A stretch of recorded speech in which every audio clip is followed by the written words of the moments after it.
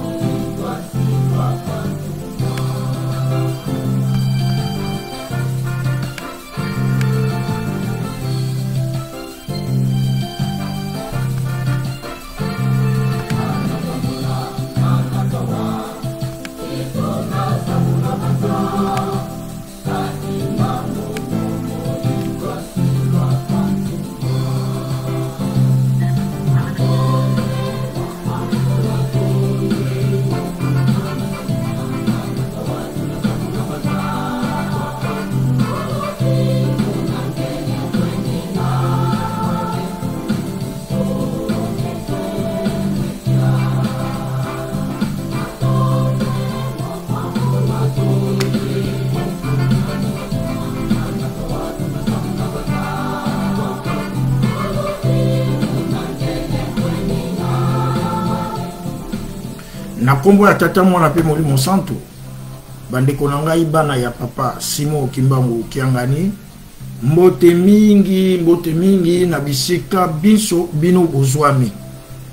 lelo ezali mokolo ndenge topesaki bino elaka ke tozali kocelebre anniversaire ya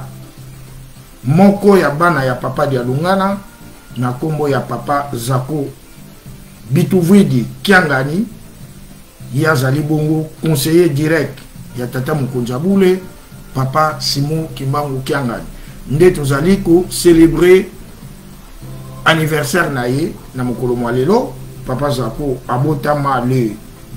20 juin 1954 nde mokolo mwa lelo papa zako azali kokokisa 68 ans soki nabosani te mais yambo ya kocelebre anniversaire ya papa zako toyebi ke mokili na biso toza na mpasi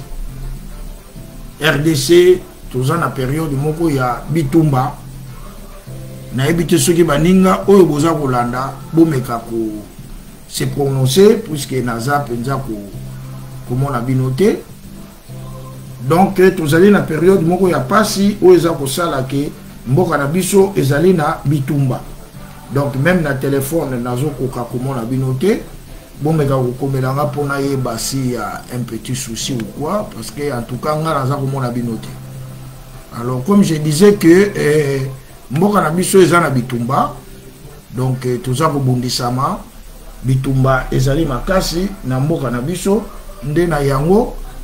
voilà sikoyo tomoni bino papa do na 20 mozi bantimba mbote na yo batatala bamama ndenge tolobi ke mboka na biso rdc eza na bitumba tokoki koleka mbala moko te na kofete anniversaire sans ke to exprime compassion na biso na bandeko na biso bazali na este biso bamosusu mpe kutu toza na bafamille kuna mpe na mampinga na biso ya fardc oyo bazali kobunda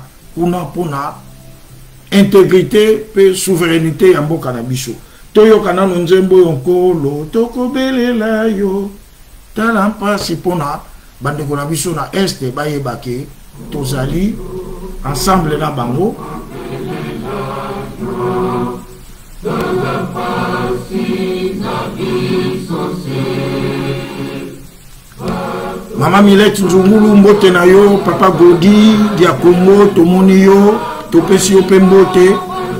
batata na bamama ndenge kaka touti koloba ke tozali na ntango ya mpasi mpamba te mboka na biso ezali na bitumba me toza na kobanga te yango biso bakimbangisi tolobaki toza na devoir monene parce que soki totali bien papa diangienda ntango akomaka na goma je crois c'était en novembre 90 alobaka likambo moko alobi goma oyo ndenge bomoni ezali porte d'entrée na ya sortie mayebisaka biso te entrée ya banani sortie ya banani mpamba te ntango biso bakembani tolobaka te tozalaki vraiment na banzambe nous ne nous trompons pas parce que batata na bamama tolanda bien eloko moko te oyo bapapa na biso wana misato batikala koloba oyo nanu esalemi te papa dangeni alobaka na biso mingi nayebisaki bino si bomoni mingi mpe bokomona ata ngai nazali te ntango papa daniel nauti goma ye toyambi ye na kinshasa ngai nazalaki na kilti wana azwi maloba alobi naloti ndoto mpo ya banda kolobela mingi na masese oyo ngai nayokaka yango wana mpo nayoki mpe bato nyonso on peut pas tout connaître hein? moi je n'ai jamais dit que je détiens le monopole du savoir sur le kimbangisme mais je fais quand même de petits efforts nabotami na lingombo oyo natangi na lingombo oyo nasali na lingombo oyo donc je suis allé en kamba à l'âge de 6 ans je crois donc naza mopaya te na makambo ya lingombo na ba 60 ans oyo tokomi nango donc je disais que papa diangen aler aye alobi tata na ngai alakisi ngai carte d'afrique mais namoni rwanda eza lisusu te na carte d'afrique carte géographique ya afrique rwanda eza lisusu te batata na bamama yango makambo oyo toza toujours korapele ezala bakonzi na biso ke mboka oyo ndenge eza kobundisama papa simon kimbangu ntango bakangi ye asentiraka mboka wana mobimba mpona akende qu'est ce qu'il a fait bakangi papa simon kimbangu na bakongo baye ne na kinshasa batie ye na bato papa simon kimbangu azwi bato asali équateur aleki na mbandaka na mbandaka kutu babetaka ye na aéroport na port wana babimisi ye babeta ye ngai nakende mpe na mbandaka j'ai eu la chance ya komona mama oyo ayaka kosenga bolimisi epa bapere na biso bapere motu bamema ye pa papa diangenda mpo mama wana akufa ke ye moto abetaka papa simon kimbangu lindala loyo azokaka papa simon kimbangu aloba nakanga na bakoko ya mama wana famille mboyo na kinshasa na, na mbanda papa simon kimbangu atikala kolakela eke okokufaka te ti okomona mwana nga me yo ndenge obeti nga boye bana no ya mibali baza beni me bana no ya basi mawa to famille mboyo wana soki otali bafille o oh, laisse tomber mais babimaka kaka na badomestique ou babotaka te ou babalaka te donc jusqu'à ce que papa diangienda lere ayaka je crois na ba 60 combien wana akomelaka na ndako ya papa yolevariste lere wana batata na biso nano bakoki kozwa place te ya kosala paroisse nde bamemaka mama wana nsima ya bomonani na papa diangenda ndenge tata ne alobaka mama wana akufa donc nous étions en train de parler ya ndenge papa simon kimbangu encercla mboka wana aleki na équateur akomi na kisangani na kisangani akiti na bato batie ye na na train asali le kivu ti ake kokóma na katanga donc atikalaka kaka na baprovince mibale asalaki te ezalaki bandundu na le kasai ntango bake kosala exhumation na ye nde baye na ye na ye lebo le kasai baye na ye eleki na bandundu eye kozonga na kinshasa donc papa simo kimbangu atikala kobukle mboka wana papa diangenda alobaki lokola papa na ye asentira mboka wana ata centimetre mo bitumba oyo bomona kaka ndenge peuple atelemi et puis ti lelo oyo puissance église kimbanguiste bayeba yango te puisque même le tozwaki le indépendance minduku nini tozwaki nao est ce que nous on avait une armée ya kobunda na babelge mais papa simon kimbangu abimisaka basoda na ye ya mikuse oyo baningisaka kuna yango wana tozali de cœur na bandeko na biso na est biso nyonso surtout biso bakimbangisi tobosana te ke biso role na biso ezalaka mabondeli koreki na yo keke boza deja na lutendeli biso nyonso meme prière ya le 6 avril yango nakotia le tokobanda libondeli ebimaka na 77 lere guerre ya shaba ebandaka soki olandi na libondeli wana tala makila ya bato ndenge ekomi liziba na miso na yo biso na biso toza kobomana yo olobaka libanga ekotikala likolo ya libanga te kino ekolongolama libondeli wana ntango na yango yango oyo ya babitumba tobosana yango te totia yango makasi tozala de cœur biso nyonso totika badivision na biso na ba aire oyo ndenge nazomona baparti mosusu ekomi non non non non ero yango nga na, na, na felicitaka mindele eh? mindele soki ekomi likambo oyo etali point commun intérêt commun ya territoire na bango batikaka nanu badiversité na bango wana baguerre ya baparti banini mais biso malgré toza na mpasi oyo mais on continue toujours un tel fois alongwa est ce que po soki wana alongwe nde guerre esili nde barwandais batiki koatake biso mais batata na bamama toza korapele ke papa diangenda alobaka amoni rwanda eza lisusu te na carte géographique nga nayoka te mais j'ai entendu papa diangende a dit ça j'étais au kilt etango akei na goma mpo sautaka na goma mpo ayebisa biso bongo alobi ke namoni porte d'entrée awa na goma na ya sorti nalobaka te ce n'est qu'après toye kocomprendre mpo oyo azali koloba na masese nani akotela wana ezalaki ya fidèle Tata ma mama, biso tosalaka politiki te, tolobaka politiki te, mais mais politiki e bilaka ebele papa Simon Kimbangu apesaki na bapapa eza na kati ya politiki kokota mpenza ya barwandais mpo na baya koconquerir mboka wana bakotela na goma na afdel mais papa dengenda alobaki eza porte d'entrée donc tozozela sortie e bakongo balobaka kitikia muntie selesele eza elingi koloba soki ozokende na wenze bawenze na biso na mboka ezalaka ozokende na makolo me soki obandi komona baposo ya koko yebaka ezambe etikali mosika te yango batata na bamama namoni mama hortense gikama vraiment ezali mpe anniversaire ya beau frère na biso molongani na yo bapapa godi bamama priska eh, papa ngoma wa basolele mon fils na bino nyonso bokolanda biso Je crois que na mateya na biso tokoya koyebisa ntina nini fo tofetaka baanniversaire ya bana mpe ya bapapa parce que bamosusu bamona amboto ah, monjela c'est un flatte ngai na flattaka eloko te mais ngai je reste fidèle aux enseignements que j'ai reçu de nos trois papas mingi ntango nayebisaka bino eza te mpo na soki kosenga nini me ngai nde bomonaka ngawa malgré boapresiaka nga malgré bosala naza ni nkengi na eglize oyo naza meme pas ata nlongi mais eza mpo na komikumisa te mais naza na bato oyo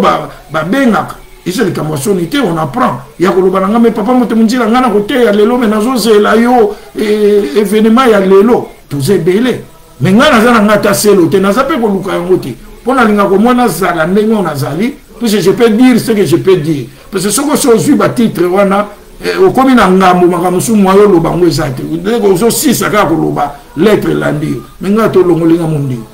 nakwei na telemi naza kaka na tolongoli nga 20 fois oyo maana twamona maana twa nakolobaka kaka yango batata na bamama tolobaki ke toza na anniversaire ya papa zako kiangani maintenant ke compensation na biso tolakisi yango na bandeko na biso na este tolakisi yango na bafardc na biso tolakisi yango na baautorité politique na biso ke nous le kimbanguiste biso role na biso na makambo boye eza mabondeli toza kobondela na nkamba mabondeli eza kotoka partout bakimbanguiste tozali mpo na kimia ekota nde sikoyo toleka na anniversaire toyoka nanu nzembo nini totieli papa zako mpo na anniversaire na ye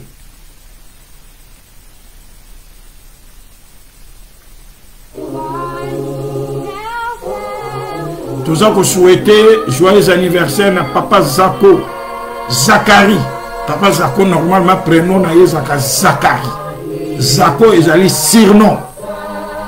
Non, son prénom c'est Zachary Bitouvidi Kiangani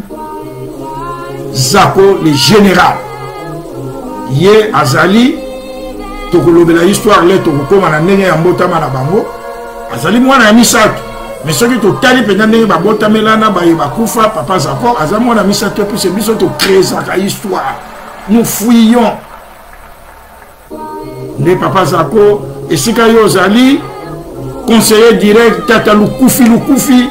ye tata mwanda velela je crois que yo ozali koaccompagne tata mokonzi ya bule je crois sauf eh, changement de dernière minute ou bozali nanu na point noir ou bolongwaki lobi na meki kolanda te vraiment totombeli yo mbotama elamu ndenge kaka oza koyoka na nzembo tosanisi nanga zimvwala zeto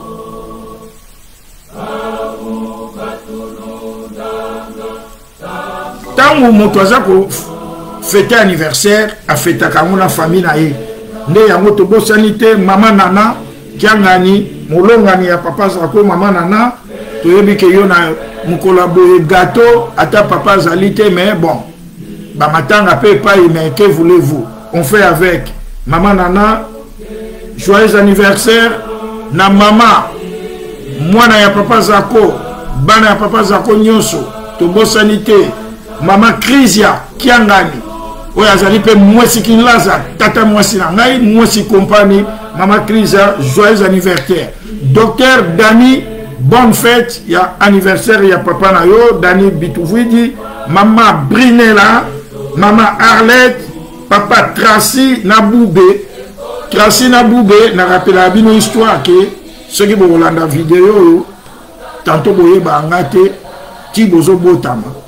nga naomona parce que ntango papa zako babalai na mama nana ndako ya liboso papa zako avandaki ezalaki na saint luc wana donc biso bandaki koya wana bube papa zako ale sylvain prend un peu bube là et sort avec lui là nake osombela bino babiscuit yo na traci na ye na bino wana donc bonne fête na bino esika bino bozali tobosani te papa derge papa reane na mama jardine toute la famille toute la descendance de papa simon kimbangu bisika nyonso bino bozali bozala na kimia tika tata nzambe apambola bino biso tozwa likabo yake nkolo yesu ayaki abotaki te me bapapa baye baboti soki bapapa babotaka te batata na bamama elaka oyo biso olobaka ke molimo santu akotikala libela libela donc molimo santu yango akovanda illimité te yango wana batata na bamama oyo ezali fete ya biso nyonso nakosepelaka na bandeko na ngai ya monkoto bango bakoyokela yango soni te anniversaire nyonso ya mwana ya papa nyonso bango bakofetaka yango batetela bamama histoire biso tokorapelaka kaka histoire mpo histoire bachangea yango te yango toza kotondisa matondo na nkolo ndenge bapapa babotelaki biso bango bandaki kobenga bango bandeko na bino mpe bokoyoka tokotia maloba papa mpo aza koloba te na bino naboti na nzoto na bango naboti na molimo bozali moto moko mais pourkui lelo tokóma bato mibale nyonso oyo tokolobela yango na mateya na biso donc euh, joyeux anniversaire joyeux anniversaire papa zako esika yo ozali na baye nyonso baza kolanda yo surtout papa igelongo oyo azali bongo ya gg ki azali l'un des grands fans ya papa général tobosani te mwana na biso junior mbote munzila ye akozalaka toujours na papa dani kiangani donc toute la famille kiangani ezala papa mbenza ezala mama marie ezala papa rigen bino nyonso na libota lisantu obotama na kisorokeli obotama na yadalungana obotama na diangenda kuntima joseph joyeux anniversaire na bino toteyana akabolaka mutu te nde yango sikoyo tokoleka ndenge ezali bomesano na biso na nzembo na biso ya liboso oyo tokobandelaka programme tobongama mpo na chant d'ensemble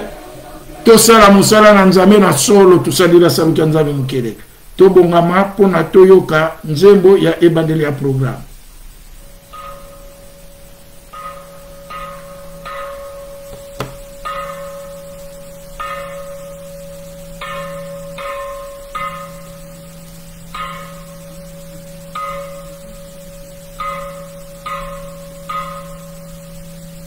toteya bato topesana baconseil na mangomba nzambe alingi asala likambo mosusu Soki tozo tambola kaka na desordre, mikolo pe ezali ko pusana. Soki biso batu to bondelaka, to mipesi, likambo eko katama. To kota na ba desordre te.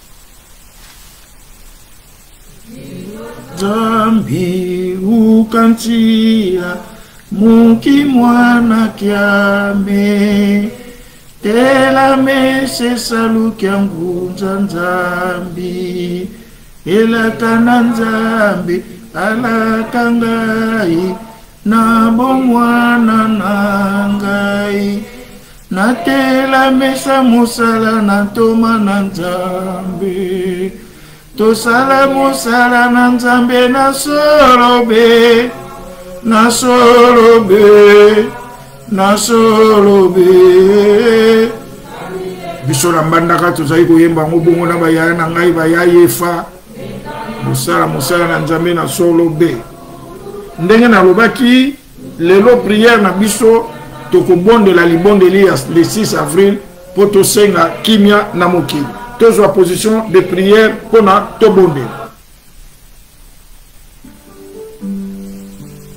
nkombo ya tata mwana mpe tata molimo santu mokolo oyo ya le 6 april lokola oyoki kolela na biso na nzembo Tata Nzambe, mpo ete biso bato tobonga, lokola ezalaki mposa na yo, otindelaki biso Mwana na yo Yesu Klisto, mpo ete ma ebolakanaki makokana. Nkolo na biso Yesu Klisto, mpo ete biso bato tobikisama, ondimaki kufa ya soni, babakisaki yo na ekulusu elongo na miyibi. Moko kati na bango asakanelaki yo, kasi ozongisaki, ozongisaki ye liloba moko te, na ntina ete olingaki kosala kaka oyo boyokanaki na tata na yo, mpo ete moto akoka kozwa lisusu esika kati na mitema na bino. Manso wana masalemaki na ntina na biso bato mabe. Toyebi na bolamu ete olingi kozongisa biso bato tokoka kozala na Yo elongo kuna na Lola esika moko na basantu na Yo. Liboso ete Omata na likolo, Olakisaki maye mazalaki na Yo epai na bayekoli na Yo. Olakisaki bango mposa na Yo mpe Otindaki bango bakende na mokili. Mobimba babongola bapakano bandimi. Molimo Santu akokita mpe akozala na bino, kasi bokoyeba ye te. Maloba na bino manso totangaka mango na mokanda mwa Nzambe. Na mokolo moye mwa le 6 avril, Tata Nzambe, Nkolo Yesu, Tata Molimo Santu, toyebi ete tozali babungi liboso na bino. Pamba te tosalaka maye bolingaka te, mpe toyokisaka basali na bino soni, pamba te maye manso bopesaki biso tomonaka yango lokola liseki. Tofukami na se na makolo na bino mpo tomona bolimbisi bwa bino. Tosi tomoni. Mabe na biso, pamba te mokili mokomi koningana. Yango etindi biso tomeka koyeba yo soki ozali nani. Lakisa biso, pamba te mayele na biso mazali kaka mabomwana mpo na ntina na mabe na biso. Tala ndenge mpasi eleki biso kufa. maladi, bitumba, nzala, na makambo ndenge na ndenge lisusu. Biso tozali na ekimelo mosusu te. Yo nde ebombamelo na biso. Bosalisa biso pamba te tozangi mosusu oyo akoki kozala molobeli na biso kuna bozali.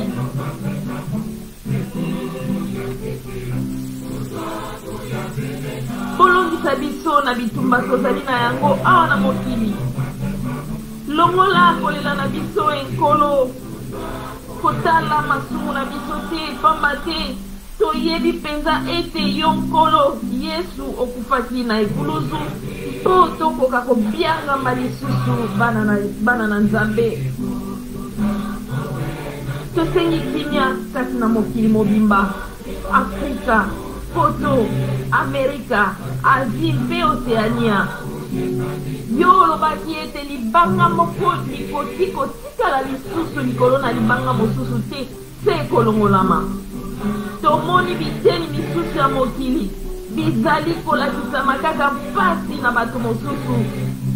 Tosengi na yo oponela bango molobeli kati na kimia oyo akoki kotambolisa bango na ntina ete tomoni makila ma bato makomi lokola eziba ya mai liboso na miso na bino. Mpo na komiponela mosambondisi. Likambo wana ezali ya mawa mingi mpe ya pasi mpenza. Tala lelo oyo bazali kobundisa biso, biso na biso mpe tozali kobomana. Tosengi bolongolela biso manso wana.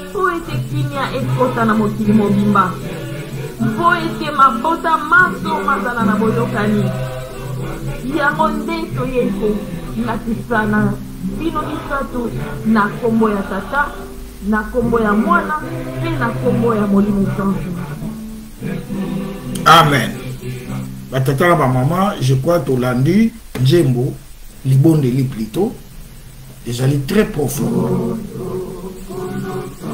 papa diangenda moto asalaka libondeli oyo tosambeli ya le 16 avril aza koloba ke makila ya bato esali liziba na miso ya yo tata nzambe tosengi botyela biso kimia na mokili mobimba yango batata na bamama ndenge ezali bomesana na biso tomoni yango tokɔta mpenza na parti nani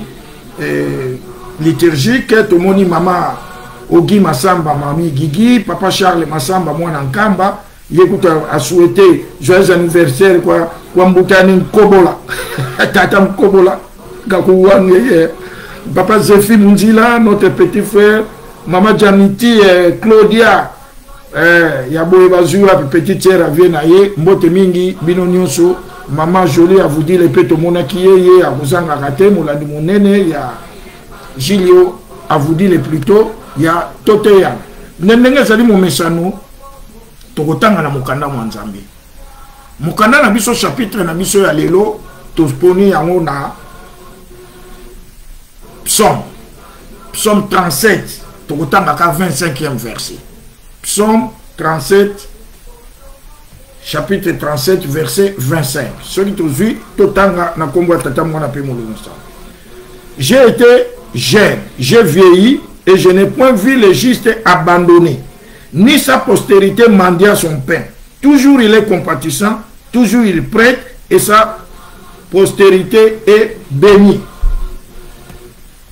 batata na bamama mokanda mwa nzambe oyo totangi na psaume balobi eh, banda na botama ti na koli namona te moto oyo asalelaki nzambe na ndenge ya solo libota na ye bana na ye bakokolo na ye bamandie lipa bazala bamandie bazala bato ya pasi toujours bazalaka na lipamboli mpo nzambe soki apamboli mutu lipamboli wana ekendeke de génération en génération na ntina wana toza kofete anniversaire ya papa zala pourquoi likambo oyo nalingi na profite yango napesela yango liteya monene parce que nga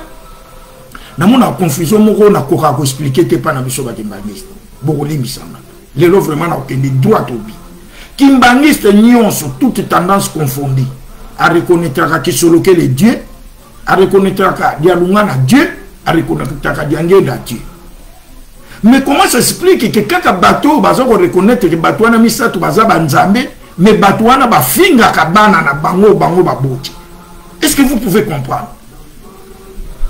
moi je comprends bien parce que pour moi dieu est juste dieu ne se trompe pas moi je ne suis pas de ceux qui mbangistes oyo tokanisaka ke mwana papa ata asali ne lisumu euh, eh, euh, donc eh, bakotangela ye yango te non non non non tokolanda maloba papa diange na eh, kanaka mais au moins bazali une génération bénie nakozonga na likambo oyo avant nazonga na bana ya bapapa likambo oyo napesela yango mpe leson epai ya bandeko na ngai tobotami na bango na bana na ngai mpo namoni ndeko leki na ngai moko aza kolanda ngai baleki na ngai me mibale biso papa na biso asalelaki vraiment papa simon kimbangu bapapa bango misato na motema moko atikaki bozwi na ye nyonso atikaki makambo nyonso andimi kokende na équateur où il a fait plus de 30 ans asillonne équateur mobimba na bwate na camion na velo na moto mpo na kopanza sango ya papa simon kimbangu mais papa ayebisaka lisolo wana kaka pa ya ngai mon père ayaka kinshasa jikwa na ba 91 wana na 92 papa aza kotika biso lere akei papa diangenda ayambi ye tolanda likambo mpo eza liteya mpe mpo na biso bana ya banganga nzambe nyonso c'est que papa diangenda avait dit à mon père c'est ce qui est aussi valable mpo na biso bana ya banganga nzambe nyonso papa diangenda asimbi papa ndenge père ayebisaki ngai na loboko alobi na ye ah papa george papa paster eske oyebaka nkombo napesa mwana na yo ya suka mwana na biso ya suka leki na biso oyo bayebi ye pichen papi papa diangenda apesa ye nkombo ya kalusembwako biso tobanda kozwa nkombo wana kaka ndenge wana père pa ayebaka nde ntina nkombo wana te kanisa pitchen doit être né vers le 71 mais papa diange naye kopesa explication wana na 91 ayebisi papa napesaka mwana na yo nkombo wana parce que tie parmi bapasteur oyo basali na ngai qui sont restés irréprochables oyo na reproche ata na likambo kalusembo akona kikongo elakisi ke vous ne serez pas reproché kosemba na kikongo ezali semwa donc reproché etie parmi les pasteurs qui sont restés irréprochables alors alobi nayebi eloko na kofuta yo te mpe nabi e papa ofuta nga ngai natiaka elaka ntango toyaka na camp pasteur te lifuti na ngai nakozwila yango kaka na lola yabi wi papa pasteur na lola okozwa mais il faut pe awa omona ngo yango nayebisi yo boye papa george landanga malamu abi papa nazolanda omoni bana na yo na bana ya babana na yo na banani nani ya banani na yo ali, ali chapitre na tangi ils ne mangeront jamais du pain bakotikala kokufa nzala te yango le mosusu namona baniese na ngai baneve meme na bana na ngai mona bazosepela ngai hmm, mapambo leo boyebi na bino te supo bamosusu bakóma na bagroupe de prière bakanisaki bakendaka kozwila yango kuna ono mapamboli wana me bana ya bapapa papa simoki mbango azalaki beni bapapa bango misato bazalaki beni ekoma bana ya bango bakilozala modi papa diangienda aloba na bamusicien ya faki yaya na biso ya kala ke soki omoni mwana na ngai aza kosala mabe teya ye kolobela yango te ke na miso ya bato oza kofinga ye non benga ye esika bino mbale teya ye e alobi mpe lisusu soki omoni mwana na ngai azosala mabe otiki ye na mabe mwana na ngai akozwa etumbu me yo etumbu no ekozala double pourkui aexplike bango abi tala temps nyonso oyo ngai naza na bino quand est ce que ngai nakozwa temps ya koteya bana na nga batata na bamama tozwa exemple simple ngai nazwaka exemple moko simple mpo ndenge nauti koloba ngai nabotami na lingombo nakoti te nabotami tokende bakoloni de vacances toza teke toko kritike bana bapapa tokende babeko biso bana mibali na nani awa na lingwala na bukama bana basi na lutende na nani na matete je crois bamama hortense baza kolanda ils peuvent témoigner bamama eh, ogi masamba nayebi te soki si tozala na mwana papa moko tolali na ebeko to na mwana papa moko tokende koloni pai o tokei eh, eh, nani oyo kunzulu o tokei eh, mongwandanda o tokei kinkewa balere papa papa azali kokabwana tanto 2 heures 3 heures akozonga na ndako bango basi balali mais atikaki role wana epa na biso mwana ya roi aza toujours prince me biso sikoyo tobima batata na oyebisa bino likambo moko peut-être esala bino mpasi te omoni bana ya papa kisolokele oyo babotami na mama elene ntango bawutaka tyela baye soki lucela soki wapi bautaka bakomelaka babombaka bango epai ya papa wete andre papa josé kisolokele bakotisi ye classe na bongolo papa josé nga lere nalobaka histoire na nga mpo nazala conteste te papa josé akolanda nani o papa josé toza to, to, kotambola na ye il était notre ami mon ami à moi papa josé nakende otali ntina kimbangu mais tozomona nini papa josé donc tozo soupçonne ka yoka mwana papa yoka mwana omona bana papa mosusu baye na voiture papa josé azaka simple papa josé atikala kovanda yango ngai naloba ngai naza na elembo monene naza komikumisa te moto ya liboso avandisa papa josé na tribune eza papa mbenza na nkamba na miso na ngai donc bakoya église donc bakovanda tozotalaka likambo yango biso toza kozepose mais qu'est ce qui ne va pas mais bolanda lisolo papa wete andre moto abetelanga lisolo mpo ye moto abokolaki bana wana mokolo mosusu je crois papa josé na leki na ye mama micheline batantaki kokende na gombe epai ya tata na bango ntango bakomi kuna mama nsalulu abengani bango ce n'est que normal mpo mama nsalulu mama eleni wana anyokoli ye na rivalité ntango bazalaki na tiela mpo tiela ezalaki terrain ya mama eleni sikoyo papa bisolokela azwi mwasi na ye ya mboka aboyi mama eleni eh, mama eleni mpe amitikaki te eh. akozwa bakamarade na ye banini bakokale mama nsalulu na wenze nkuba mama nsalula aza mutu aa na nzoto donc il a garde mwa bakanda wana ntango papa josé akei kuna abengani bango ntango bazongi ça c'est papa wete qui me raconte moi la chance que j'avais batata wana bawanzungasa basamba bakwamadio moi je les taquine je les posais des questions je l'ai posé des questions alors qu'est-ce qui s'est passé papa josé azui leki na ye mama micheline wana jipoi papa die doni azalaki nano te na kinshasa bazalaki bango mbala baye na, na, na monkoto bavandi na bango neti bato nyonso papa azosalisa bango bango parce qu'ils étaient oublié ke neti bana bapapa te papa amoni bango eh, boya akoti bango maloba ya papa josé epai ya papa diangengo oyo histoire nazoyebisa bino mpo toyeba tokeba biloko mosusu oyo tosalaka papa josé alobi na papa diangenda papa ngai nayebi ke yo oza nzambe biso tolembi humiliation oyo tosengaka te toya na mokili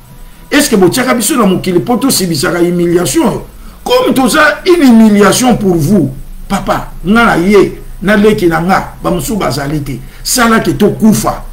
zongisa biso pai soki nini towuta mpo yo oyebi epai towuta tokufa na biso mpo tolembi kosibiri humiliation ya boye papa atala likolo atala likolo aye noir abengi papa kalamvuila papa kalamvuila kende kobengela ngai tata wenge ah, bino bokota kuna koti ah, eh, mama bibi pesa bango dejeuner papa josé akolanda bando à moins que ça soit papa wete qui m'ait qui, qui, qui trompé mais il n'était pas de genre de gens d'ailleurs il était très correct euh, ce vieux là ye ce qui était rouge il disait rouge ce qui était vert azalaki bo wetando bon esali nini papa kalamvula ake kozwa papa wete aye ah, papa wete papa dernier na bino papa josé répété makambo olobi na nga devant papa wete papa josé arépété papa dernier na biana tokei amati bana wana na voiture na voiture oyo mosusu papa lungu bale suite ye papa dernier na mati na bana ne na voiture na papa kalamvue toke gombe kokoma ya bana wana na gombe me nalingi naloba liloba oyo papa dernier naloba na mama nsalu lere akomi ce que papa wete m'a raconte abi alobi na mama ncalulu mama ncalulu omoni bino basi oyo tobali biso misato tokuta bino wana moke me bana na biso toya na bango koya yango mabombami ebele fo toloba yango parce que tokoma wi mwana papa soki asali mabe tokotika ye na mabe te tokotika ye na mabe te tokolobela mpe teke tobetela yango ntango tobanda kofinga parce que ndenge ofinga mwana motu par ricochet ozofinga tata na ye entre temps ozoloba tata wana nzambe c'est contradictoire moi tu fais une chose et son contraire à la fois il est vrai que bana ya bapapa lipamboli wana bazali na yango yango papa alobaki fo bazala batambola lokola bango batata na bango Donc, d'une manière ou d'une autre, quand Dieu a béni, personne ne peut arracher pour lipamo lina bango euta banana Simon Kimbangu tie kiti bazali nango. Papa Mbenza tozana no kotanga na ye. Akeyi voyage ne moko kaka na boma ou na tiela bo. Akenda akoma kuna basala soki plus de 6 près de 1 an vous le betaka te. Papa Mbenza ka wana bozomo. Wele to ba jeune. Tozo sakana to sala ba makambo nyonso. mais mwana ya dialungana bango ba lokola bayebaki batata mpe bafukami yo lokola oye awa okende te soki mvula ebeti te mais papa mbenza m'a dit quelle prière il avait prié asengi koko na ye koko nga nayebi nanga makambo oyo te koyokisa nga soni te mpo soki ebeti te awa komona moto kosambwa ngai te buna ya sana nsa mvule buna ya sana nsa tinsuka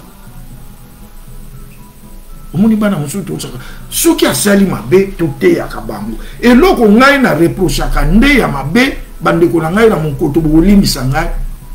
bandeko na biso ya monkoto soki mwana ya papa aza kosala mabe ye azobeta maboko seke bolingi bango te benga ye na pembeni n'est ce pas ke papa diangienda tolobela makambo anniversaire papa diangienda aloba na koreki ke soki anniversaire ya papa arma ekoki mwana bosepelisaka ye ndenge bosalelaka nga koreki lelo na koreki eza moko l'histoire on va pas la changer bapapa balingaki balingaki mpe bana na bango na bonzoto ngai nakopesaki exemple mibale toza kokende na mateya na biso mokolo mosusu papa diangenda aye na mbandaka c'était ba année 86 ou 87 lisolo oyo je crois que papa marteau ne pourra pas me contredire papa diangenda akomi ntango akomi comme nous là-bas c'est nous qui dirigeons un peu tout nazali kojoue ata plusieurs rôles dirigeant de ceci protocole machin tout ça mpo bandimi tozalaka mpenza ya mingi te papa de ngena ler tokiti kaka na aéroport daye bomonaka foto oyo ya papa de ngena na mama bibi atia maboko na po c'est moi qui ai publié cette photo ezalaki na voyage wana ntango tokomi na paroisse naza na faki namoni baye kobenga nga o papa azobenga ye nakei papa alobi na nga omoni mwana na nga oyo leki na yo oyo nabi wi papa akiti na avion kaka lelo awuti poto donc nous nous sommes des témoins mpe ya mwa makambo ebele tala nao mwana ne awuti poto ya suka mais ye fo voyage abi kokita kaka kiti natie ye mpe yango toye donc il est très fatigué il n'a pas dormi zwa ye kende kotia ye na chambre alala nasui papa marto nake kotia ye wana biso mpe na mandaka si totonga chez nous da nake kotia papa marto ada mais quitte pendant que le quitte se déroulait plus de deux fois nakovanda bo baye kobenganga papa t'appelle na ke hein? va un peu voir euh, ton petit là comment il va na ke ta moko nakutaki papa marto alali ne ta mosusu nake kute il avait un petit jouet soki ya ndenge nde aza kojoue na ye suki ebele mwa kerli tout ça yango pamaka mosusu tolobaka yo musicien ezala na suki ya ndenge wana epai ya papa nakasi okobeta miziki te mokolo wana ti bakosombela o gilet mais papa marto aye na suki ne wana mpo papa alobi eh, bino nde bokoteya bango nga nateyi bino bino boteya bango garçon mosusu ya musicien je crois fo ezala entre mutakumbi asi abetela yango libaku soki akolanda nga ake na monkoto atikaki mandefu akomi boye papa asilikeli ye me amona mwana papa azobima na mandefu ah, ah, eh, eh, eh. pero monsieur quoi au juste ozomona biloko mosusu papa mona yo musicien na mandefu me mwana nde na mandefu papa mona yo musicien suki ya ebele na kati ya faki me mwana nde aza na yango alobi bino bokoteya bango exemple mibale na kopesa oyo ekolakisaki bapapa bazalaki na bolingo ya bana na bango ntango pillage esalemi biso na mbinza tovandi balabala moko na papa charles pai papa charles azali ntango pillage esalemi eh, toyoki ke bapiye baparoise na biso lokola ndako wana eyebanaki ke ndako ya papa diangenda on s'est organise bapapa gracia bapapa kalamvuila tozwi bagene biso tu batimbangi toke kosala garde ya papa charles papa charles epa abimi libanda wana ah, tomona kaka ndenge papa yefa ndenge bayelaka na me bakoki kosala accident donc papa yefa aya na niva oh, akitika oh, oui papa je suis là il est là passe le moi a passer papa veut savoir la santé soki mwana ne aza en sécurité et tout ça na tata na bamama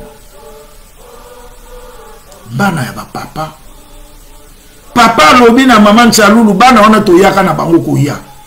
biso nde fo tobatelaka bango toteyaka bango daye ngai nalobaka na bajeune fille ya mpo ngai mission na ngai eza toteyana nalobaka na ngai claire mpo bafille ebele mpe tokota na église mosalaka ya kokweyisa bana bapapa me ngai na mwa expérience oyo naa nango ti nakoloba na bino likambo bino mpe botala autour na bino bafille oyo nayebi souvent ke babima na bana ya bapapa ke bana ba papa babala bango te mpo na bomona ke banzoto wana eza sacré et la plupart ou babota te ou babala te ou nini moi j'en connais une, une vingtaine ntina otala bo nazotanga bango na oyo baza na bomoi na oyo bakende mpo bamosusu mpe na lingomba role ne kaka amona soki abimi na mwana papa ye akomi star yango batata na bamama liteya oyo toteyi mpo mingi bakoloba pourkui anniversaire ya sote bana ya bapapa baza une race béni benediction na bango euti na simoki mbango ekiti na batata na bango mais il faut tokolanda nanu papa diangenda toyoka ye moko papa diangenda asouete mwana na ye joyeux anniversaire mpe toyoka maloba papa diangenda akoloba kokanisa te ke lokola ozali surtout bandeko na biso na monkoto bolanda phrase oyo eza teke mbote motila moto amontama parce que le plus grand problème c'est là ya mwana papa azosala nini ondi okende ne pembeni pere biso père na bino awa aloba na biso awa ezalaka bongo te no yo ah! i bango batangela bango masumu te asala kaka non tolanda papa diangenda bongo toyeba soki eh, ezali bongo voilà tolanda nao papa diangenda zela tozongela nano mpo sinon eh, Sinon Zako, vraiment, ozalaki tellement profond na maloba bino bolobi ekoteli nga na motima malgré mizala kosala nga pasi kasi ekosila kaka toza na eliki ete nzambe na biso akokokisa mikano na ye akosalisa biso ya solo babakulutu azali na pasi Papa Pongomba aza aza na pasi, ngai moko mpe naza na pasi, kasi nakoloba kaka na papa ye, sala na ngai mwana na yo ndenge yo olingi, asala ndenge elingi ye, oyo ya biso ezali bomoto, sino oyo ya ye tozali sur et certain ke Nzambe akokosa biso te. tika te tata nzambe vraiment apambola bino nyonso tu à travers tous nos enfants ezali te ka mpo na bango bapambola kaka bana na ngai oyo nabuti na mosuni eh, eh. bino nyonso tu balandi matambi na ngai mpamba te babasi moki mbango alobaki ete diangenda kokanisa te mpamba te nga moto nabuti na mosuni nde nakofungola nzela mpo ate okota awa eh. verite ah. soki olandi matambi na ngai ndako na ngai ezali ya yo donc bana na ngai bino nyonso bozali awa na bino bato nabuti na mosuni na baoyo nabuti na molimo bino nyonso to bozali esika moko tika te tata nzambe na nkolo yezu ali mosantu apambola bino bozala na nguya na makasi Bo, bokobima awa tete haute. Nasi natungisi bino nyonso tu napesi bino bonne fete, bon anniversaire na nkombo na Tata Mwana Pere Mosantu, amen. Amen papa. Nde koyembisa nzembo na ngai. Nzembo wana nini? Nzembo wana demarrage forte.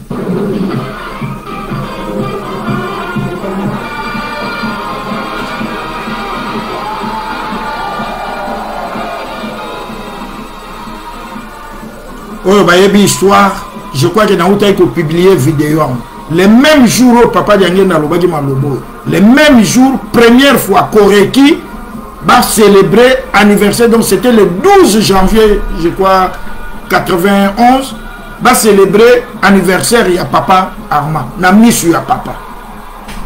nautaki kopublie video oyo azwaki yango te akoki kokomela ngai natindela ye bana ya bapapa bayaki bambuta motu batindaki bana ya bapapa mpo boyeba role na bango ke tozomona bapapa na bino claire te bokende nano koloba likambo nini oyo balingi kosala biso papa alobi ya à travers bana na ngai bino nyonso bopambwa batata na bamama abraham ntango azali kobota te mwasi na ye sara azali kobota te sara azwi serviteur na agar alobi na abraham ebota na ye ye moko sara moto atindaki ntango agara aboti na eh, eh, eh, abraham aboti na nani na agare esali ke elaka ya nzambe ekokokana na 100 ans ou 80 ans ou plus ye sara aye kozwa mwana isak ale jour oyo baza kosevre isak sara abuka ye nena kosoki me o mwana oyo aboti na kimobange oyo nde kutu to mobange oyo aye kobota na kimobange sara asiliki ayebisi abraham nalingi komona agara awa na mwana ne to fobengana bango abraham abi jamais mwana mwana na nga yo moto otindaka nga nabota na ye lelo nabengana su na kobengana mwana te tata nzambe alobi na abraham sala oyo sara aza koyebisa yo azalaki contraint ayebisi agare na mwana bakende bakomi na desert batata tolandaka mateya papa simongi mango atikela biso bible tokeba na bamosusu kutu bana bapapa kaka mpo akoma soki kingani mpo asala nini ozobengela nkombo yo arma yo apres olobi kimbangi apres diangenda diange lewisi yeyo oza hypocrite nous sommes des hypocrites des véritables hypocrites na mokili oyo eza vraiment biso biso na lingomba na biso meme na kobenga boye tobenganaka batata bapapa bon soki obengi mwana papa ata soki abunga nzela soki asala nini obengi ye papa sa te kutu kua arma yo charles yo alphonse suka nango botalaka na eglize eh? mpo biso role na biso koteya talaka bato wana talaka suka na bango talaka bien bien bien suka na bango parce que ça sert à rien de maudire quelqu'un que dieu a béni hein?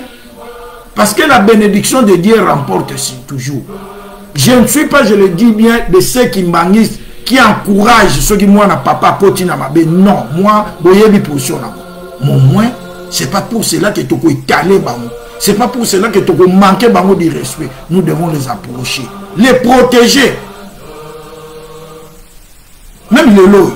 ngai nalobaka na nga yango nakoki ngai bagrade nalinga yango te mpo nga comme ça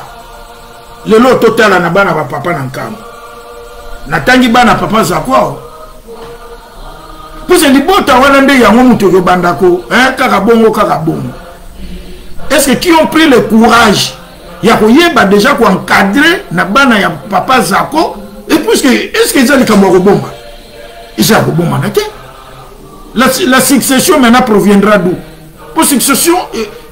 ewutaka na bana ya basi te ça proviendra d'où est ce que nous avons déjà pris le courage mwana ya motu lere aza kokola aza ne kaka ndenge wana akokende soki baconcert bani bango nyonso wana mpe tokolaki na bango biso kaka ndenge wana fumalongo alobi mwana motu lere ake fio atanike kwa ninama est ce que nous prenons le temps de deja ya koyeba qui est le prince epuis elembo emonanaka ezali te ko mpo aza mwana liboso mpo aza mwana kingani elembo emonanaka bambuta deja bazalaka bamonaka yango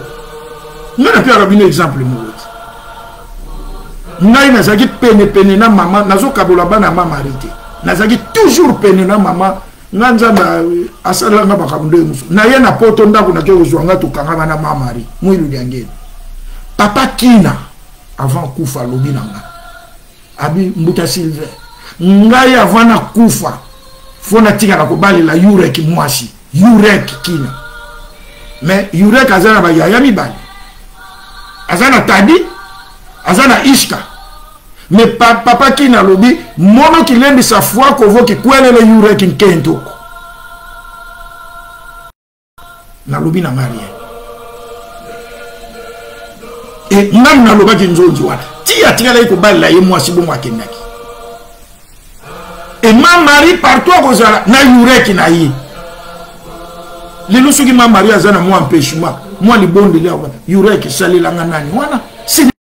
à tout le monde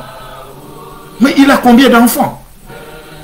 tozalaki koloba lisolo ya gare ntango bakomi na désert mwana alingi akufa mai eza te agare ya binzambe mwana na ngai alingi akufa kabo ange aya na mai alobi agar mwana oyo akokufa te mpo aza béni puisque azali makila ya abraham il est béni lui aussi et je ferai aussi de lui une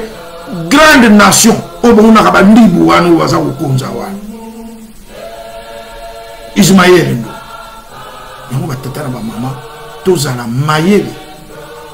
toyeba nini toza kosala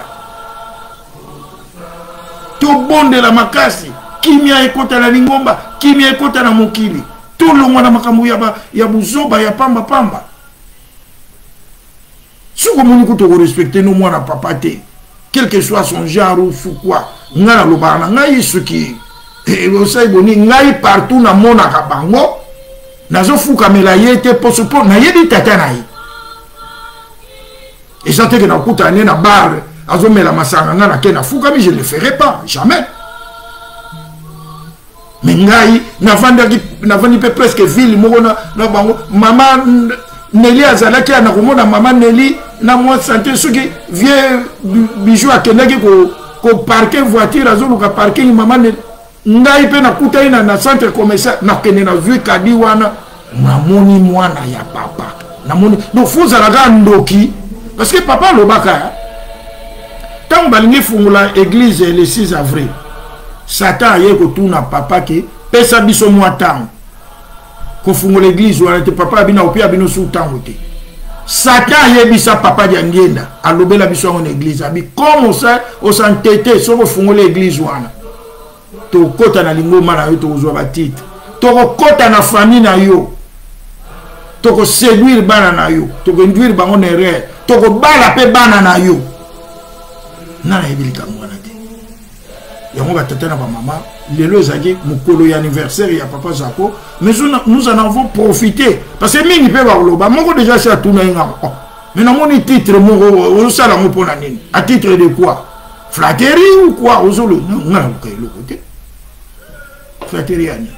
nasina yabi na bino awa naza na ngai na ya mingi te mais déjà papa de dieu avait dit à mon père que ta postérité ne mandiera jamais du pain donc ata mwa lipo oyo ya kokauka wana ya moke ezalaka kaka donc on cherche rien mais totikali yango papa simoki mama azopesa biso souffle de vie tocontinue kovivre mpo tocontinue kotémoigne tocontinue koteya yango batata na bamama je crois que émission na biso tokomi kokende na kote ya suka oyo tolandi tozwa mayele mpo biso émission na biso ezali teya ngai na teya yo toteyana soki omoni epai baza kofinga mwana papa longwa na yo kokota na yo te mais soki omoni mwana papa na erreur luka ye ngai nakomelaka bango soki balanda émission oyo bakolanda akomelaka bango mpe yini box tanto mpe tokamata na bi te eza bongo te eza bongo te bapere na bino balobaki bongo te peut-être ye moko mpe aza moto mpa ya kokendakende ovanda conscience na ezongi mpo natuki ye te me biso ekozala na miso ya bato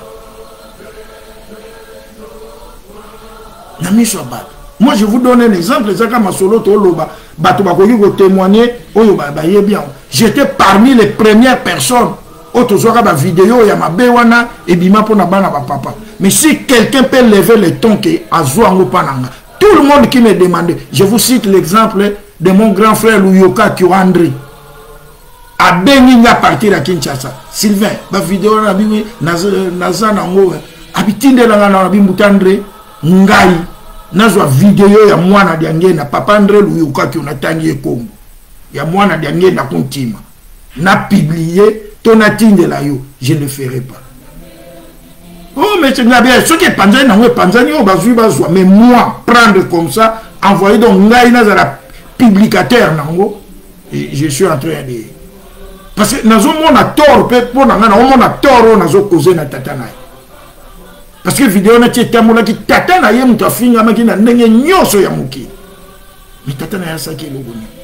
fuma mbanza alobi eh, masakubaka makondolo kokanti engwe eh, kwa bato asangaku il n'est pas mauvais que des scandales arrivent mais malheur à ceux qui provoquent les scandales malheur aux gens par qui ce scandale est arrivé yango batata na bamama tokomi na suka ya émission na biso tozali na banecrologie mikolo tozali kotraverse mpenza mwa nani ya mpasi mpo na liwa je crois ke toyokaki tolandaki ke mama sidoni molongani ya papa simoki maokiangani akufelaki mama na ye awa na belgique donc eh, programme esi epesamaki ebembe ekendaki déjà samedi oyo na kinshasa ndenge tozoloba boye ezali déjà soki programme echangeaki te na morgue ya kimbancheke nde ebembe ya mama mfingwa therese oyo azali mama ya mama sidonie ekobima mardi donc déjà euh, mardi veille ekosalema na lopango ya bamama sidoni na doruma na matonge oyo toyebi wana doruma numero 11 donc veille mardi donc demain mercredi le 22 corps ebimi na kimbanseke baexpose yango kaka wana na paroisse ya kimbanseke na 12h30 nde corps ekeyi na nkamba epai papa mbenza akoyamba yango mpe le 23 inhumation na cimetière ya ngombe kinsuka toyebi lisusu ke towutaki kokufela professeur masamba nkazi angani oyo azali bongo yaya ya papa révérend kalusa ye azalaki ancien recteur ya université simon kimbangu mpe azalaki mpe recteur na euh, université nationale pédagogique na kinshasa ipn moi il fit non seulement mon professeur na, na isp na mbandaka mais aussi c'est lui qui a signé ma première affectation mpo nakota na enseignement kimbanguiste mpo lere wana papa dengenda atiaka ye mpe comme coordinateur ya baekole kimbanguiste azalaki en même temps professeur na université en même temps coordinateur nde ebembe ya papa masamba veye ekosalema le 28 juin na ndako na ye na kinsuka kuna na cpa mercredi sorti ya corps mercredi 29 na clinique kinoise baexpose yango d'abord na clinique kinoise dernier hommage epuis ekeyi na 13 heures na ipen na université kuna mpona baceremonie académique et puis nsima nango ye mpe ekei na nkamba na le 30 juin nde akundami na cimetière ya ngombe kinsuku tobosani mpe te papa na biso papa jean kabedi ye mpe azali molandi monene ya toteyana papa diatre kabedi ya koreki na saint denis ye mpe autaki kokufela mama na ye mama helene moko nde programme mpo na papa kabedi ezali boye le 24 juin donc euh, ça sera un vendredi veille ekosalema na lopango na bango na avenue toalani numero 45 na selemba samedi le 25 sortie ya corps na morgue ya mama yemo et le même samedi inhumation na cimetière oyo baza kobenga chemin de paradis oyo ezali na route ya bakongo vraiment bino nyonso ndenge bolandi biso topesi bino mbote totombeli bino poso elamu bisika bozali totala bino nanu banani banani oyo bozali wana topesa bino mbote ntango tata nzambe aza kobatela biso mama ogi deja papa roko wa lembo mbote na yo e, papa ogi mwana ngoma mbote na yo papa charles masamba deja topesaki yo mbote notre fils smart eh, kala mbote rigen bino nyonso mbote na bino mpe totombeli bino un bon début de semaine une fois de plus joyeux anniversaire à papa zako papa zako ye abotama le 24 juin le 20 juin plutôt 1954 ye azali mwana ya misato ya papa dialungana papa zako azwaki diplôme na ye na nkamba asilisi na nkamba aye asalaki mpe quelque temps na enseignement kimbangiste comme professeur na dialanda wana na onel nsima na yango nde akendaki kosala baétude universitaire na lubumbashi epai abimaki licencie na sciences et relation internationale tosuki bongo mokolo malamu botikala malamu na nkombo ya tata mwana mpe molimo santo amen